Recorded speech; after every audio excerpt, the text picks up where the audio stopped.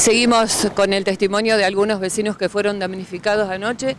Eh, ¿Cómo le va? Le decimos buen día como, como Buen deseo, día, sabemos que no lo ha pasado muy bien. No, no, qué bien. Y cuando te roba es todo mal, no todo bien. ¿Por dónde entraron? Y entraron, entraron, rompieron la puerta acá de frente Ajá. y después abrieron toda la puerta por dentro. Claro. ¿Y qué se llevaron?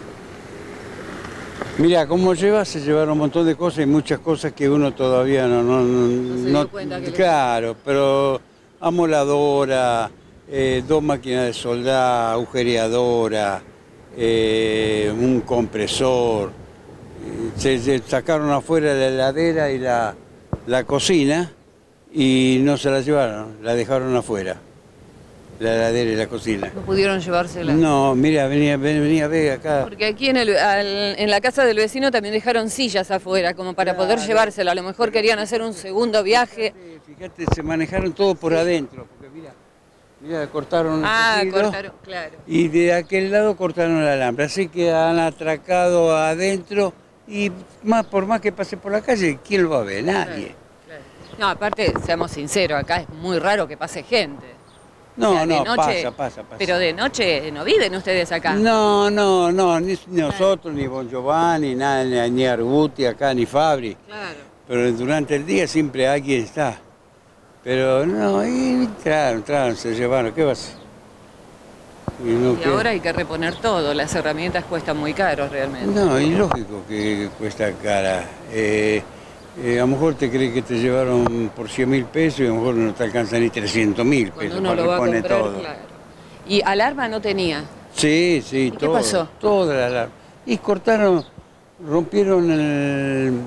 Va, rompieron, se llevaron el transformador y la alarma se ve que no actuó enseguida o, o lo que hicieron la arrancaron, porque la alarma la- sacaron de, estaban contra la pared. Sí, ya no La- no, la arrancó la alarma, el, el- el tablero de la alarma, se llevaron todo. Qué terrible, qué bárbaro. ¿Cuántas casas son las damnificadas? Cuatro.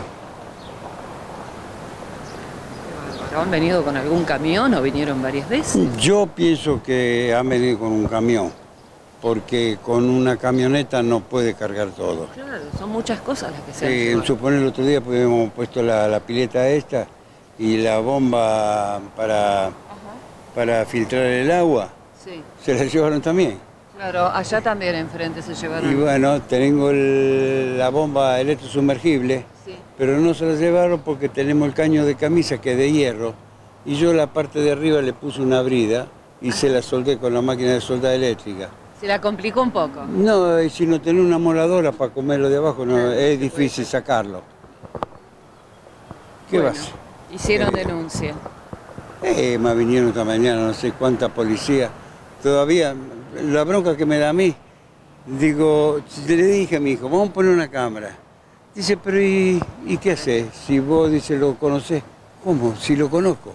Vos quedate tranquilo que yo lo conozco y lo sé a dónde vive. Lo voy a buscar.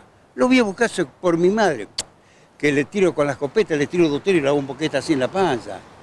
Si yo la cámara me enfoca quién es la persona, yo le tiro, ¿qué no le voy a tirar? Porque la otra vez también, ya con esta nosotros cuatro veces nos roba.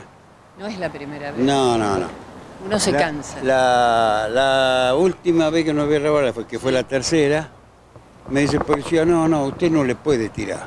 Usted no le puede tirar. Digo, ¿por qué no me decía dónde viví vos? Te voy a robar si total no me puede tirar. Dice, ¿sabes lo que pasa? Es que vos la querés tener toda ganada, me dijo. Ay, mira, lo que, mira la contestación de la policía. Lo que pasa es que, claro, la policía no le Claro. puede decir.